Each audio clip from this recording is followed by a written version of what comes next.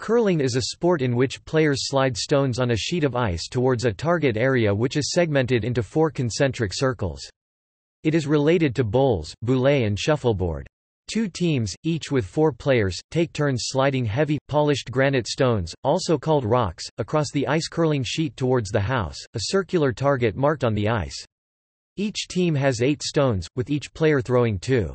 The purpose is to gain the highest score for a game. Points are scored for the stones resting closest to the center of the house at the conclusion of each end, which is completed when both teams have thrown all of their stones. A game usually consists of 8 or 10 ends. The curler can induce a curved path by causing the stone to slowly turn as it slides, and the path of the rock may be further influenced by two sweepers with brooms who accompany it as it slides down the sheet, using the brooms to alter the state of the ice in front of the stone. Sweeping a rock makes it curl less, and decreases the friction that slows the rock down. A great deal of strategy and teamwork go into choosing the ideal path and placement of a stone for each situation, and the skills of the curlers determine the degree to which the stone will achieve the desired result. This gives curling its nickname of chess on ice. History Evidence that curling existed in Scotland in the early 16th century includes a curling stone inscribed with the date 1511 uncovered along with another bearing the date 1551 when an old pond was drained at Dunblane, Scotland. The world's oldest curling stone and the world's oldest football are now kept in the same museum the Stirling Smith Art Gallery and Museum in Stirling. The first written reference to a contest using stones on ice coming from the records of Paisley Abbey, Renfrewshire, in February 1541. Two paintings, "'Winter Landscape with a Bird Trap' and "'The Hunters in the Snow' both dated 1565 by Pieter Bruegel the Elder depict Flemish peasants curling, albeit without brooms. Scotland and the Low Countries had strong trading and cultural links during this period, which is also evident in the history of golf. The word curling first appears in print in 1620 in Perth, Scotland, in the preface and the verses of a poem by Henry Adamson. The sport was and still is, in Scotland and Scottish settled regions like southern New Zealand also known as the roaring game, because of the sound the stones make while travelling over the pebble droplets of water applied to the playing surface. The verbal noun curling is formed from the Scots and English verb curl, which describes the motion of the stone. Kilsyth Curling Club claims to be the first club in the world, having been formally constituted in 1716, it is still in existence today. Kilsyth also claims the oldest purpose-built curling pond in the world at Colzium, in the form of a low dam creating a shallow pool some 100 by 250 metres 330 by 820 feet in size.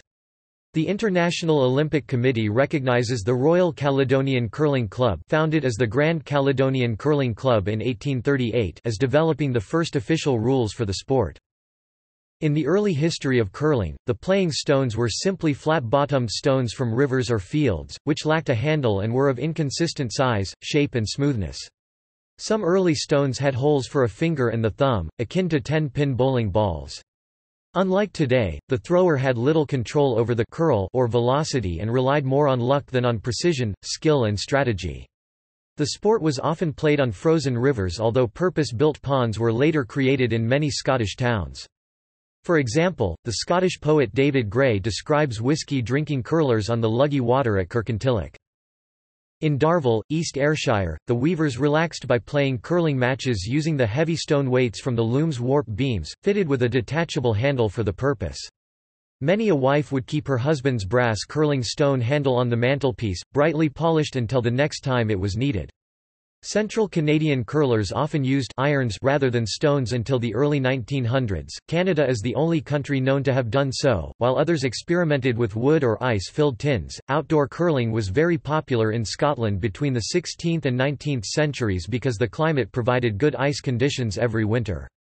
Scotland is home to the international governing body for curling, the World Curling Federation in Perth, which originated as a committee of the Royal Caledonian Curling Club, the mother club of curling.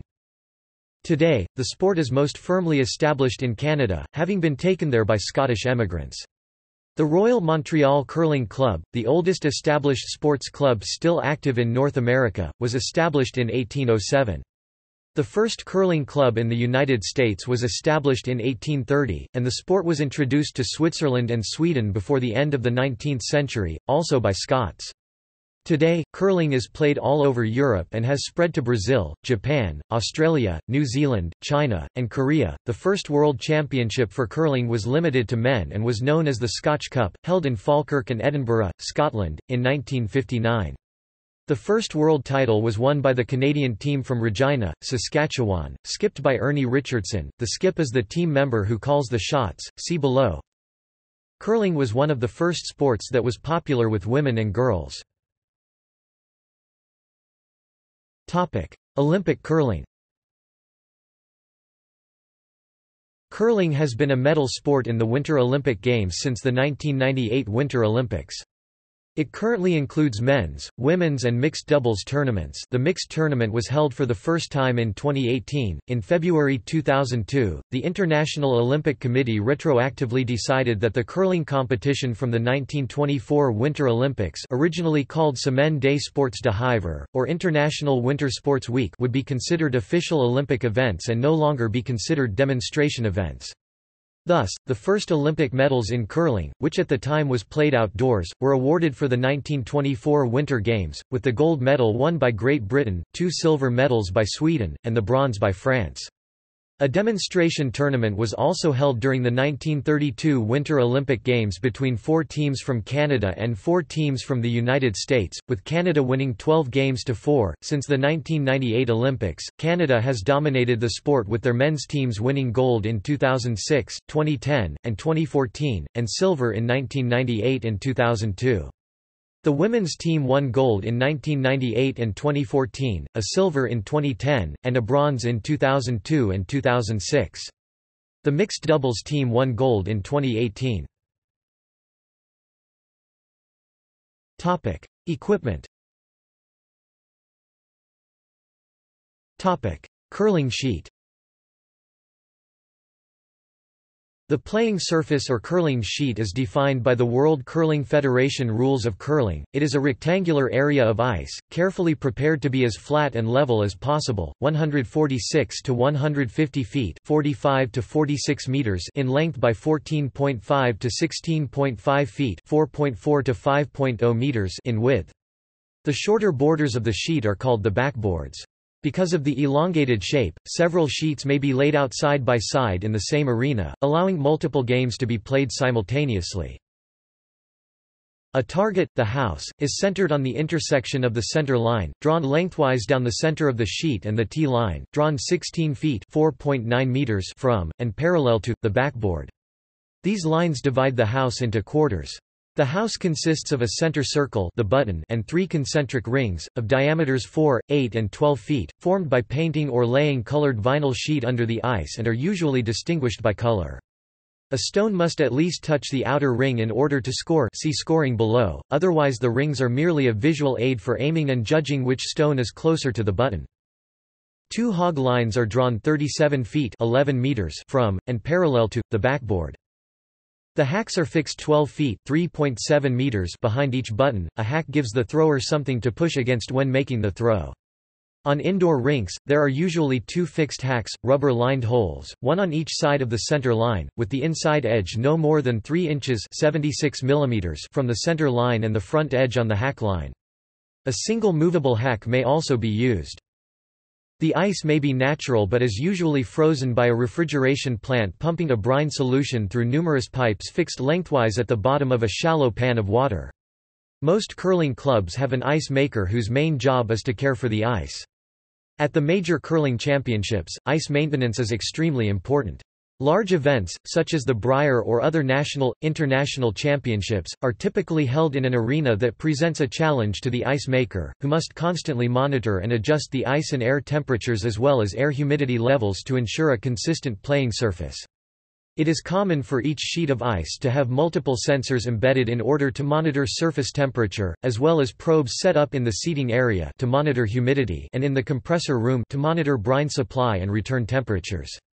The surface of the ice is maintained at a temperature of around 23 degrees Fahrenheit minus 5 degrees Celsius. A key part of the preparation of the playing surface is the spraying of water droplets onto the ice, which form pebble on freezing.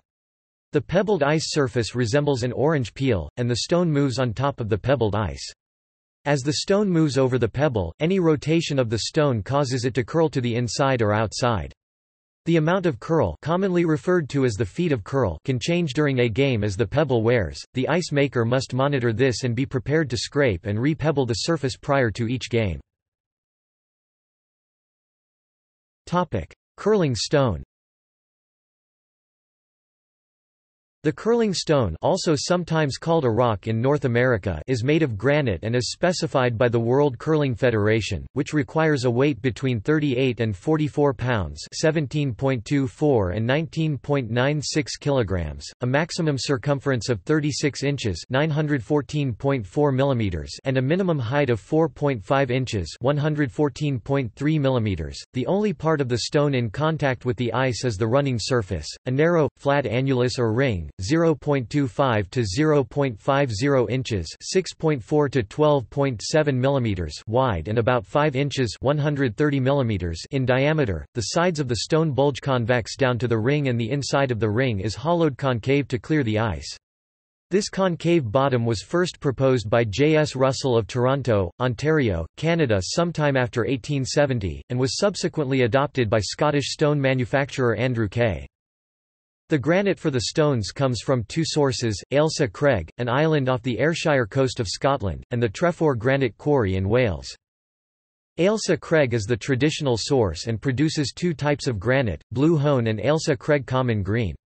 Blue Hone has very low water absorption, which prevents the action of repeatedly freezing water from eroding the stone. Ailsa Craig Common Green is a lesser quality granite than Blue Hone. In the past, most curling stones were made from blue hone but the island is now a wildlife reserve and the quarry is restricted by environmental conditions that exclude blasting. Kays of Scotland has been making curling stones in Mauchline, Ayrshire, since 1851 and has the exclusive rights to the Ailsa Craig granite, granted by the Marquess of Ailsa, whose family has owned the island since 1560. According to the 1881 census, Andrew Kay employed 30 people in his curling stone factory in Mauchline. The last harvest of Ailsa Craig granite by Kays took place in 2013. After a hiatus of 11 years, 2,000 tons were harvested, sufficient to fill anticipated orders through at least 2020. Kays have been involved in providing curling stones for the Winter Olympics since Chamonix in 1924 and has been the exclusive manufacturer of curling stones for the Olympics since the 2006 Winter Olympics. Trefor granite comes from the Yr Eifl or Trefor Granite Quarry in the village of Trefor on the north coast of the Llyn Peninsula in Gwynedd, Wales and has produced granite since 1850. Trefor granite comes in shades of pink, blue and grey.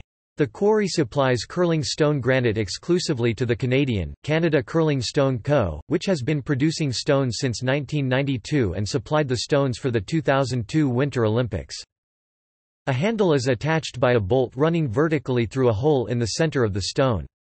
The handle allows the stone to be gripped and rotated upon release. On properly prepared ice, the rotation will bend curl the path of the stone in the direction in which the front edge of the stone is turning, especially as the stone slows. Handles are colored to identify each team, two popular colors in major tournaments being red and yellow. In competition, an electronic handle known as the eye on the hog may be fitted to detect hog line violations.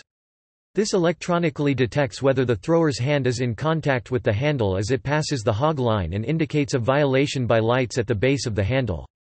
The eye on the hog eliminates human error and the need for hog line officials. It is mandatory in high-level national and international competition, but its cost, around $650 each, currently puts it beyond the reach of most club curling. curling broom The curling broom, or brush, is used to sweep the ice surface in the path of the stone see sweeping and is also often used as a balancing aid during delivery of the stone. Prior to the 1950s, most curling brooms were made of corn strands and were similar to household brooms of the day. In 1958, Fern Marchessault of Montreal inverted the corn straw in the center of the broom. This style of corn broom was referred to as the blackjack. Artificial brooms made from man-made fabrics rather than corn, such as the rink rat, also became common later during this time period. Prior to the late 60s, Scottish curling brushes were used primarily by some of the Scots, as well as by recreational and elderly curlers, as a substitute for corn brooms, since the technique was easier to learn. In the late 60s, competitive curlers from Calgary, Alberta, such as John Mayer, Bruce Stewart, and, later, the World Junior Championship teams skipped by Paul Gowsell, proved that the curling brush could be just as or more effective without all the blisters common to corn broom use. During that time period, there was much debate in competitive curling circles as to which sweeping device was more effective, brush or broom. Eventually, the brush won out with the majority of curlers making the switch to the less costly and more efficient brush. Today, brushes have replaced traditional corn brooms at every level of curling, it is rare now to see a curler using a corn broom on a regular basis. Curling brushes may have fabric, hog hair, or horsehair heads. Modern curling brush handles are usually hollow tubes made of fiberglass or carbon fiber instead of a solid length of wooden dowel. These hollow tube handles are lighter and stronger than wooden handles, allowing faster sweeping and also enabling more downward force to be applied to the broom head with reduced shaft flex. New directional fabric brooms, which players are worried will alter the fundamentals of the sport by reducing the level of skill required, have been accused of giving players an unfair advantage. The new brooms were temporarily banned by the World Curling Federation and Curling Canada for the 2015-2016 season. The new brooms give sweepers unprecedented control over the direction the stone goes. Shoes Curling shoes are similar to ordinary athletic shoes except that they have dissimilar soles. The slider shoe, usually known as a slider, is designed for the sliding foot and the gripper shoe, usually known as a gripper for the hack foot. The slider is designed to slide and typically has a Teflon sole. It is worn by the thrower during delivery from the hack and by sweepers or the skip to glide down the ice when sweeping or otherwise traveling down the sheet quickly. Stainless steel was once common for slider soles, and red brick sliders with lateral blocks of PVC on the sole are also available. Most shoes have a full sole sliding surface, but some shoes have a sliding surface covering only the outline of the shoe and other enhancements with the full sole slider. Some shoes have small disc sliders covering the front and heel portions or only the front portion of the foot, which allow more flexibility in the sliding foot for curlers playing with tuck deliveries. When a player is not throwing, the player's slider shoe can be temporarily rendered non-slippery by using a slip-on gripper.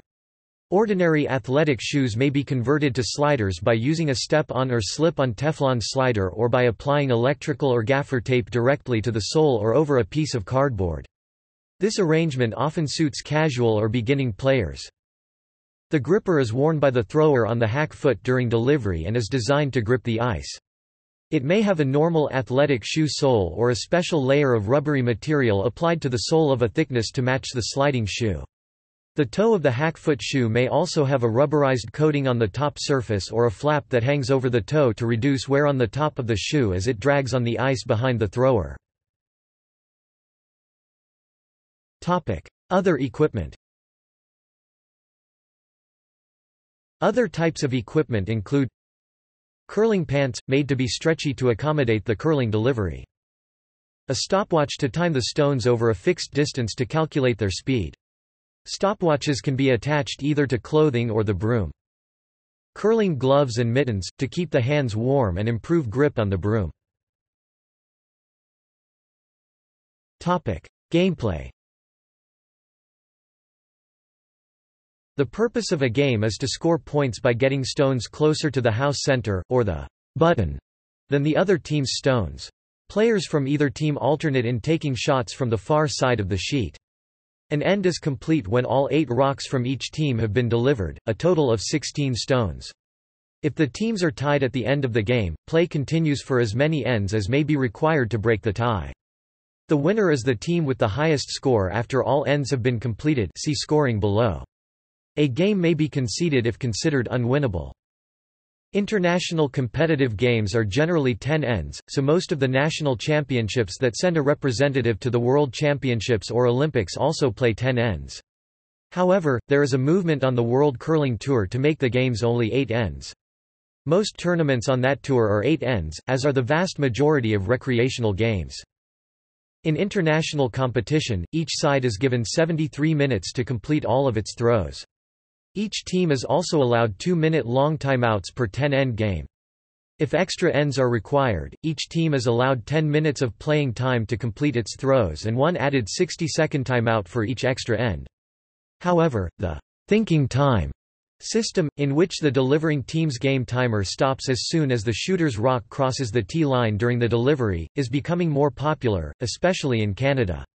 This system allows each team 38 minutes per 10 ends, or 30 minutes per 8 ends, to make strategic and tactical decisions, with 4 minutes and 30 seconds an end for extra ends. The thinking time system was implemented after it was recognized that teams playing aggressively using draws and other low-weight shots which take more time for the stones to come to rest were essentially being penalized in terms of the time they had available compared to teams which primarily use hits which require far less time per shot. Topic: Delivery. The process of sliding a stone down the sheet is known as the delivery. The skip, or the captain of the team, will usually determine the required weight, turn, and line of the stone. These will be influenced by the tactics at this point in the game, which may involve taking out, blocking or tapping another stone. The weight of the stone is its velocity, which depends on the leg drive of the delivery rather than the arm. The turn or curl is the rotation of the stone, which gives it a curved trajectory. The line is the direction of the throw ignoring the effect of the turn. The skip may communicate the weight, turn, line, and other tactics by calling or tapping a broom on the ice. In the case of a takeout, guard, or a tap, the skip will indicate the stones involved. Before delivery, the running surface of the stone is wiped clean and the path across the ice swept with the broom if necessary, because any dirt on the bottom of a stone or in its path can alter the trajectory and ruin the shot. Intrusion by a foreign object is called a pickup or pick. The thrower throws from the hack. Another player, usually the skip, is stationed behind the button to determine the tactics, weight, turn, and line, and the other two may sweep in front of the stone to influence the trajectory see sweeping, below. The players, with the exception of the skip, take turns throwing and sweeping. When one player, e.g., the lead, throws, the players not throwing, the second and third, sweep. When the skip throws, the third, or vice skip, takes his or her role. The thrower's gripper shoe with the non-slippery sole is positioned against one of the hacks. For a right-handed curler the right foot is placed against the left hack and vice versa for a left-hander. The thrower, now in the hack, lines the body up with shoulders square to the skip's broom at the far end for line. The stone is placed in front of the foot now in the hack. Rising slightly from the hack, the thrower pulls the stone back some older curlers may actually raise the stone in this backward movement then lunges smoothly out from the hack pushing the stone ahead while the slider foot is moved in front of the gripper foot, which trails behind. The thrust from this lunge determines the weight and hence the distance the stone will travel. While not compulsory, most curlers deliver the stone while sliding out from the hack. Balance may be assisted by a broom held in the free hand with the back of the broom down so that it slides. One older writer suggests the player keep a basilisk glance at the mark, there are two current types of delivery, the common flat-foot deliver as well as the Manitoba tuck delivery where the curler slides on the front ball of his foot, the stone is released as the thrower approaches the hog line, at which point the turn is imparted by a slight clockwise or counter-clockwise twist of the handle from around the 2 or 10 o'clock position to the 12 o'clock on release. A typical rate of turn is about two and a half rotations before coming to a rest. The stone must be released before its front edge crosses the near hog line, and it must clear the far hog line or else be removed from play hogged. An exception is made if a stone fails to come to rest beyond the far hog line after rebounding from a stone in play just past the hog line. The release rule is rarely enforced in club play unless abuse is suspected. However, in major tournaments it is strictly enforced. The eye on the hog sensor in the stone will indicate whether the stone has been legally thrown or not. The lights on the stone handle will either light up green, indicating that the stone has been legally thrown, or red, in which case the illegally thrown stone will be immediately pulled from play instead of waiting for the stone to come to rest. Topic. Sweeping After the stone is delivered, its trajectory is still influenced by the two sweepers under instruction from the skip. Sweeping is done for several reasons, to reduce friction underneath the stone, to decrease the amount of curl, and to clean debris from the stone's path. The stones curl more as they slow down, so sweeping early in travel tends to increase distance as well as straighten the path, and sweeping after sideways motion is established can increase the sideways distance. When sweeping, pressure and speed of the brush head are key in slightly increasing the layer of moisture that builds up under the stone. One of the basic technical aspects of curling is knowing when to sweep. When the ice in front of the stone is swept, a stone will usually travel both farther and straighter. In some situations, one of the two alterations in path is not desirable. For example, a stone may have too much weight, but require sweeping to prevent curling into a guard. The team must decide which is better, getting by the guard but traveling too far, or hitting the guard. Much of the yelling that goes on during a curling game is the skip calling the line of the shot and the sweepers calling the weight. The skip evaluates the path of the stone and calls to the sweepers to sweep as necessary to maintain the intended track. The sweepers themselves are responsible for judging the weight of the stone, ensuring the length of travel is correct and communicating the weight of the stone back to the skip. Some teams use stopwatch timing, from back line to the nearest hog line as a sweeping aid. Many teams use the number system to communicate in which of 10 playable zones it is estimated the stone will stop. Usually, the two sweepers will be on opposite sides of the stone's path, although depending on which side the sweeper's strengths lie this may not always be the case. Speed and pressure are vital to sweeping. In gripping the broom, one hand should be one-third of the way from the top non-brush end of the handle while the other hand should be one-third of the way from the head of the broom. The angle of the broom to the ice should be so that the most force possible can be exerted on the ice. The precise amount of pressure may vary from relatively light brushing, just cleaning, to ensure debris will not alter the stone's path to maximum pressure scrubbing. Sweeping is allowed anywhere on the ice up to the tee line, as long as it is only for one's own team stones. Once the leading edge of a team stone crosses the tee line only one player may sweep it. Additionally, when a stone crosses the T-line, one player from the other team is allowed to sweep it. This is the only case that a stone may be swept by an opposing team member. In international rules, this player must be the skip, or if the skip is throwing, then the sweeping player must be the third. Topic. Burning a stone Occasionally, players may accidentally touch a stone with their broom or a body part. This is often referred to as burning a stone. Players touching a stone in such a manner are expected to call their own infraction as a matter of good sportsmanship. Touching a stationary stone when no stones are in motion there is no delivery in progress is not an infraction unless the stationary stone is struck in such a manner that its position is altered, and is a common way for the skip to indicate a stone that is to be taken out. When a stone is touched when stones are in play, the remedies vary between placing the stones as they end up after the touch, replacing the stones as they would have been if no stone were touched, or removal of the touched stone from play. In non-officiated league play, the skip of the non-offending team has the final say on where the stones are placed after the infraction. Topic. Types of shots Many different types of shots are used to carefully place stones for strategic or tactical reasons. They fall into three fundamental categories as follows. Guards are thrown in front of the house in the free guard zone, usually to protect the shot rock the stone closest to the button at the time or to make the opposing team's shot difficult.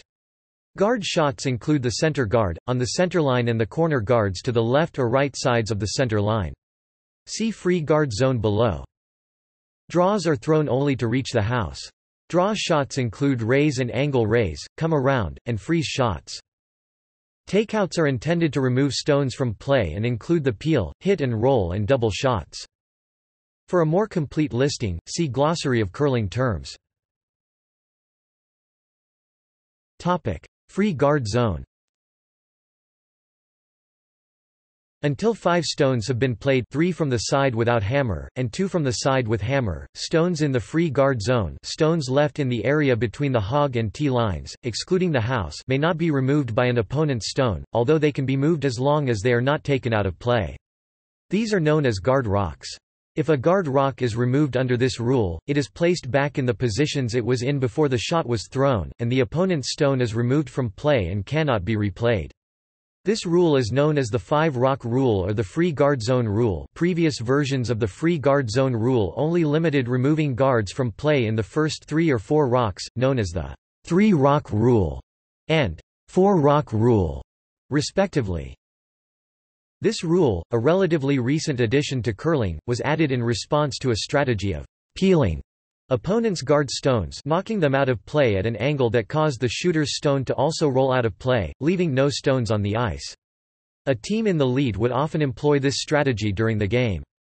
By knocking all stones out, the opponents could at best score one point if they had the hammer. Alternatively, the team with the hammer could peel rock after rock, which would blank the end, keeping the last rock advantage for another end. This strategy had developed mostly in Canada as ice makers had become skilled at creating a predictable ice surface and the adoption of brushes allowed greater control over the rock. While a sound strategy, this made for an unexciting game. Observers at the time noted that if two teams equally skilled in the peel game faced each other on good ice, the outcome of the game would be predictable from who won the coin flip to have last rock or had earned it in the schedule at the beginning of the game. The 1990 Brier was considered by many curling fans as boring to watch because of the amount of peeling and the quick adoption of the free guard zone the following year reflected how disliked this aspect of the game had become. The free guard zone was originally called the modified Moncton rule and was developed from a suggestion made by Russ Howard for the Moncton 100 cashspiel with the richest prize ever awarded at the time in a tournament in Moncton, New Brunswick, in January 1990. Howard's rule later known as the Moncton Rule, used for the tournament and based on a practice drill his team used, had the first four rocks in play unable to be removed no matter where they were at any time during the end. This method of play was altered by restricting the area in which a stone was protected to the free guard zone only for the first four rocks thrown and adopted as a four-rock free guard zone for international competition shortly after. Canada kept to the traditional rules until a three-rock free guard zone rule was adopted for the 1993–94 season. After several years of having the three-rock rule used for the Canadian Championships and the winners then having to adjust to the four-rock rule in the World Championships, the Canadian Curling Association adopted the four-rock free guard zone in the 2002–2003 season. One strategy that has been developed by curlers in response to the free guard zone Kevin Martin from Alberta is one of the best examples is the tick game, where a shot is made attempting to knock tick the guard to the side, far enough that it is difficult or impossible to use but still remaining in play while the shot itself goes out of play. The effect is functionally identical to peeling the guard but significantly harder, as a shot that hits the guard too hard knocking it out of play results in its being replaced, while not hitting it hard enough can result in it still being tactically useful for the opposition. There is also a greater chance that the shot will miss the guard entirely because of the greater accuracy required to make the shot. Because of the difficulty of making this type of shot, only the best teams will normally attempt it, and it does not dominate the game the way the peel formerly did. Steve Gould from Manitoba popularized ticks played across the face. These are easier to make because they impart less speed on the object stone, therefore increasing the chance that it remains in play even if a bigger chunk of it is hit. With the tick shot reducing the effectiveness of the four-rock rule, the Grand Slam of Curling series of Bonspiels adopted a five-rock rule in 2014. In 2017, the five-rock rule was adopted by the World Curling Federation and member organizations for official play, beginning in the 2018–19 season. Hammer Last rock or last stone advantage in an end is called the hammer. Before the game, teams typically decide who gets the hammer in the first end either by chance such as a coin toss, by a draw to the button, Contest, where a representative of each team shoots to see who gets closer to the center of the rings, or, particularly in tournament settings like the Winter Olympics, by a comparison of each team's win-loss record. In all subsequent ends, the hammer belongs to the team that did not score in the preceding end. In the event that neither team scores, the hammer remains with the same team. Naturally, it is easier to score points with the hammer than without. In tournament play, the team with the hammer generally tries to score two or more points. If only one point is possible, the skip will often try to avoid scoring at all in order to retain the hammer until the next end, when two or more points may lie. This is called a blank end. Scoring without the hammer is commonly referred to as stealing, or a steal, and is much more difficult. Topic. Strategy Curling is a game of strategy, tactics and skill. The strategy depends on the team's skill, the opponent's skill, the conditions of the ice, the score of the game, how many ends remain and whether the team has last stone advantage the hammer. A team may play an end aggressively or defensively. Aggressive playing will put a lot of stones in play by throwing mostly draws, this makes for an exciting game and is very risky but the reward can be very great. Defensive playing will throw a lot of hits preventing a lot of stones in play, this tends to be less exciting and less risky. A good drawing team will usually opt to play aggressively, while a good hitting team will opt to play defensively. If a team does not have the hammer in an end, it will opt to try to clog up the four-foot zone in the house to deny the opposing team access to the button. This can be done by throwing center line guards in front of the house on the center line, which can be tapped into the house later or drawn around. If a team has the hammer, they will try to keep this four-foot zone free so that they have access to the button area at all times. A team with the hammer may throw a corner guard as their first stone of an end placed in front of the house but outside the 4-foot zone to utilize the free guard zone. Corner guards are key for a team to score two points in an end, because they can either draw around it later or hit and roll behind it, making the opposing team's shot to remove it more difficult. Ideally, the strategy in an end for a team with the hammer is to score two points or more. Scoring one point is often a wasted opportunity, as they will then lose last rock advantage for the next end. If a team cannot score two points, they will often attempt to blank an end by removing any leftover opposition rocks and rolling out, or, if there are no opposition rocks, just throwing the rock through the house so that no team scores any points, and the team with the hammer can try again the next end to score two or more with it.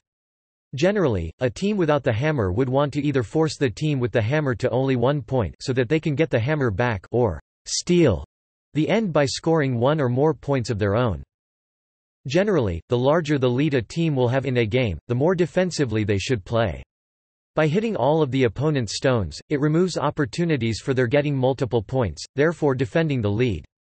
If the leading team is quite comfortable, leaving their own stones in play can also be dangerous. Guards can be drawn around by the other team, and stones in the house can be tapped back if they are in front of the tee line or frozen onto if they are behind the tee line. A frozen stone is difficult to remove, because it is frozen in front of and touching to the opponent's stone. At this point, a team will opt for peels, meaning that the stones they throw will be to not only hit their opposition stones, but to roll out of play as well. Peels are hits that are thrown with the most amount of power. Conceding a game It is not uncommon at any level for a losing team to terminate the match before all ends are completed if it believes it no longer has a realistic chance of winning. Competitive games end once the losing team has run out of rocks. That is, once it has fewer stones in play and available for play than the number of points needed to tie the game. Dispute resolution Most decisions about rules are left to the skips, although in official tournaments, decisions may be left to the officials. However, all scoring disputes are handled by the vice skip. No players other than the vice skip from each team should be in the house while score is being determined. In tournament play, the most frequent circumstance in which a decision has to be made by someone other than the vice skip is the failure of the vice skips to agree on which stone is closest to the button. An independent official supervisor at Canadian and World Championships then measures the distances using a specially designed device that pivots at the center of the button. When no independent officials are available, the vice skips measure the distances. Scoring The winner is the team having the highest number of accumulated points at the completion of 10 ends. Points are scored at the conclusion of each of these ends as follows, when each team has thrown its eight stones, the team with the stone closest to the button wins that end, the winning team is then awarded one point for each of its own stones lying closer to the button than the opponent's closest stone. Only stones that are in the house are considered in the scoring. A stone is in the house if it lies within the 12-foot (3.7 meters) zone or any portion of its edge lies over the edge of the ring. Since the bottom of the stone is rounded, a stone just barely in the house will not have any actual contact with the ring, which will pass under the rounded edge of the stone, but it still counts. This type of stone is known as a biter. It may not be obvious to the eye which of two rocks is closer to the button center or if a rock is actually biting or not. There are specialized devices to make these determinations, but these cannot be brought out until after an end is completed. Therefore, a team may make strategic decisions during an end based on assumptions of rock position that turn out to be incorrect.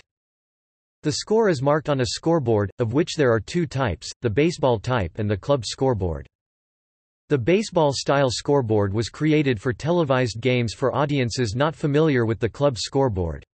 The ends are marked by columns 1 through 10 or 11 for the possibility of an extra end to break ties plus an additional column for the total. Below this are two rows, one for each team, containing the team's score for that end and their total score in the right-hand column. The club scoreboard is traditional and used in most curling clubs. Scoring on this board only requires the use of up to 11-digit cards, whereas with baseball-type scoring an unknown number of multiples of the digits especially low digits like 1 may be needed. The numbered center row represents all possible accumulated scores, and the numbers placed in the team rows represent the end in which that team achieved that cumulative score. If the red team scores three points in the first end called a three-ender, then a 1 indicating the first end is placed beside the number 3 in the red row. If they score two more in the second end, then a 2 will be placed beside the 5 in the red row, indicating that the red team has 5 points in total 3 plus 2. This scoreboard works because only one team can get points in an end. However, some confusion may arise if neither team scores points in an end, this is called a blank end. The blank end numbers are usually listed in the farthest column on the right in the row of the team that has the hammer last rock advantage, or on a special spot for blank ends. The following example illustrates the difference between the two types. The example illustrates the men's final at the 2006 Winter Olympics. Eight points, all the rocks thrown by one team counting, is the highest score possible in an end, and is known as an eight-ender, or snowman. Scoring an eight-ender against a relatively competent team is very difficult. In curling, it is considered the equivalent of pitching a perfect game in baseball. Probably the best-known snowman came at the 2006 Players' Championships. Future 2007 world champion Kelly Scott scored 8 points in one of her games against 1998 world bronze medalist Kathy King. Topic: Curling culture. Competition teams are normally named after the skip, for example, Team Martin after skip Kevin Martin. Amateur league players can and do creatively name their teams, but when in competition a bonspiel the official team will have a standard name. Top curling championships are typically played by all male or all female teams. It is known as mixed curling when a team consists of two men and two women. For many years, in the absence of World Championship or Olympic mixed curling events, national championships of which the Canadian Mixed Curling Championship was the most prominent were the highest level mixed curling competitions. However, a European Mixed Curling Championship was inaugurated in 2005, a World Mixed Doubles Curling Championship was established in 2008, and the European Mixed Championship was replaced with the World Mixed Curling Championship in 2015. A mixed tournament was held at the Olympic level for the first time in 2018, although it was a doubles tournament, not a four-person. Curling tournaments may use the Schenkel system for determining the participants in matches. Curling is played in many countries, including Canada, the United Kingdom especially Scotland, the United States, Norway, Sweden, Switzerland, Denmark, Finland and Japan, all of which compete in the World Championships. Curling has been depicted by many artists including, George Harvey, John Levick, the Dutch School, Charles Martin Hardie, John Eliot Maguire, John McGhie, and John George Brown. Curling is particularly popular in Canada. Improvements in ice making and changes in the rules to increase scoring and promote complex strategy have increased the already high popularity of the sport in Canada, and large television audiences watch annual curling telecasts, especially the Scotties Tournament of Hearts the national championship for women, the Tim Hortons Brier the national championship for men, and the Women's and Men's World Championships. Despite the Canadian province of Manitoba's small population ranked fifth of ten Canadian provinces, Manitoban teams have won the Brier more times than teams from any other province. The Tournament of Hearts and the Brier are contested by provincial and territorial champions, and the World Championships by national champions. Curling is the provincial sport of Saskatchewan. From there Ernie Richardson and his family team dominated Canadian and international curling during the late 1950s and early 1960s and have been considered to be the best male curlers of all time. Sandra Schmirler led her team to the first ever gold medal in women's curling in the 1998 Winter Olympics. When she died two years later from cancer, over 15,000 people attended her funeral, and it was broadcast on national television. Good sportsmanship More so than in many other team sports, good sportsmanship, often referred to as the spirit of curling, is an integral part of curling. In the United States there was even a theology of curling. The spirit of curling also leads teams to congratulate their opponents for making a good shot, strong sweeping or spectacular form. Perhaps most importantly, the spirit of curling dictates that one never cheers mistakes, misses or gaffes by one's opponent unlike most team sports and one should not celebrate one's own good shots during the game beyond modest acknowledgement of the shot such as a head nod, fist bump or thumbs up gesture.